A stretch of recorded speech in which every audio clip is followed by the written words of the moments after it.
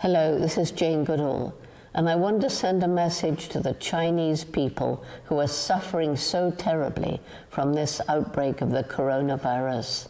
It is a truly terrible time you're going through, and my heart is with all who are sick, all who have lost loved ones.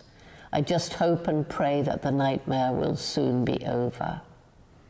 I also hope and pray that the nightmare may end for the wild animals who are captured and kept in horrible conditions for food, or because some people believe that various animal parts can be used to cure diseases or give people strength and virility. Because animals, bears, pangolins, civets, bats, rhinos, and so on, they all have feelings just like us. Like us, they suffer pain like us, they know fear, loneliness, and despair. All over the world, we've been destroying the places where animals live in order to get materials to build our homes, our cities, and to make our own lives more comfortable. And as a result, we've brought the climate crisis on ourselves.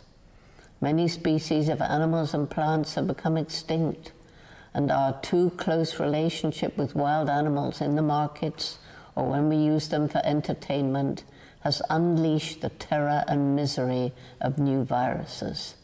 Viruses that exist in animals without harming them, but mutate into other forms to infect us with new diseases like Ebola, SARS, MERS, and now the coronavirus.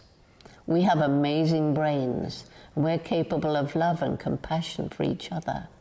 Let us also show love and compassion for the animals who are with us on this planet.